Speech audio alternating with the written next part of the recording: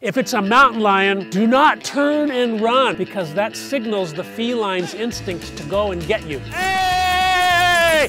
And back off. Well, me and the boys are from the wrong side of town, but no one complains when we come around. Hi, my name is Christopher Nyerges. I'm a survival educator, and today I'm going to show you the top five tips for how to survive in the woods.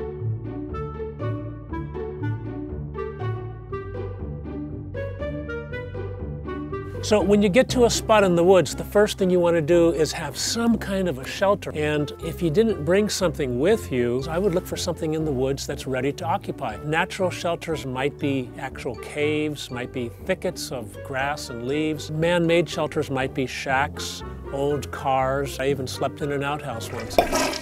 One time in the Sequoia, I burrowed into a thicket of pine needles on a hillside, just burrowed in like a hole, slept there snug all night. So the second thing you want to do when you're in the woods is determine your food source. Now, the two sources of food that you're going to find in the woods are plants and animals. Plants are easier because they don't run away from you, but you need to study them. You, need, you, you can't just randomly eat things and think you're going to survive.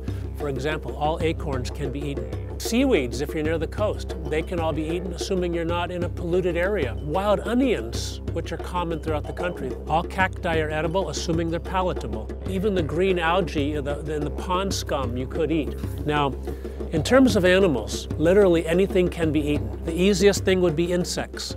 I've taken walking sticks, swatted grasshoppers as they went away from me, take off the head, take off the wings, take off the legs, and saute them, and you have a delicious meal. Any larva can be eaten, and any birds, lizards, snakes, rodents, any of those small things can be eaten if you have a means to capture them. For example, slingshots, boleadoras, sticks where you stab them. When it comes to bigger animals, it's going to take a little bit of skill because they're not living their life to feed you. And by the way, do not take killing an animal lightly. It's a serious matter. Don't do it for fun. If you're going to kill something, eat the animal. Tip number three, water. Water is really important. Now, if I'm going into an area, I'm going to do a little bit of research to make sure there's water there in the first place. I don't like to go into areas where there's no water. I've done that. It's miserable. So you want to have water there in the form of a stream, rivers, lakes. If there's no water around, you could eat cactus. You could dig wells in dry stream beds. I've done that. You dig deep enough where water has flowed and you can get to the water. You could also take a large plastic bag tie it onto a non-toxic tree like willow, the water in the leaf evaporates out. It's captured in the bag. In the course of several hours, half a cup of water. When you find your water, the big issue is, is it pure? Is it safe to drink? There is no way to simply look at the water and determine that it's safe to drink. The water could be flowing and look pure and, and be unsafe. The water could be stagnant with insects in it and be safe. I would assume that some kind of purification process should be done, and the universal way to purify water is boiling. You put it in your can, find a beer can or a Coke can, and boil the water. Boiling kills all of the biological contaminants. Our next tip has to do with fire. Fire is essential. It's not only warmth, it's not only comfort, but it purifies your water. It cooks your food. It helps you make tools. It helps you dry your clothes when you're wet. The ability to make a fire can mean the difference between life and death. So there are four principles for making fire.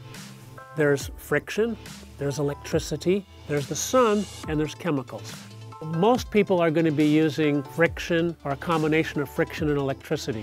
Besides the Bic lighter, I would recommend the magnesium fire starter, where you powder a little bit of magnesium and you scrape an artificial flint known as a ferrocerium rod, get a spark and you get a fire. Let's say you're in the woods with your vehicle. You have a cigarette lighter. You also have the car battery. You can stretch steel wool from pole to pole, or you put the jumper cables on, you touch some kind of tinder together. I usually stretch a wire from one of the copper terminals, wrap it with some tinder, touch the other copper terminal, and bingo, you have fire. Okay, here's my fifth and final tip, how to survive a bear attack. First off, in California, the native grizzly was pretty much killed off 100 years ago in Southern California. So if you're down in the south, you're not going to see any grizz.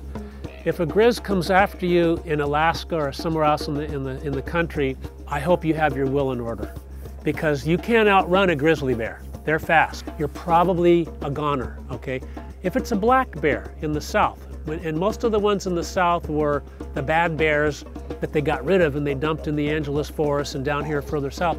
If it's one of those, there was one death in the last hundred years. So if you do encounter a bear in the woods and there's sufficient distance, you know, make some, make some noise. You don't have to be, do a big fuss, but you want it to have an exit so it can get away from you, and it will. You scream, make yourself big. You know, do this, but don't back off, sorry. Oh no, did I break something? Okay, so if it's a mountain lion, do not turn and run whatever you do because the feline's instinct is to go after you. You make noise, hey, hey, hey, hey, but don't turn and run. Just face it, back off, back off, give it room to escape, and hopefully you'll survive another day. This has been Christopher Nyerges with your five tips to survive in the woods. Did I break something? Costing you guys money.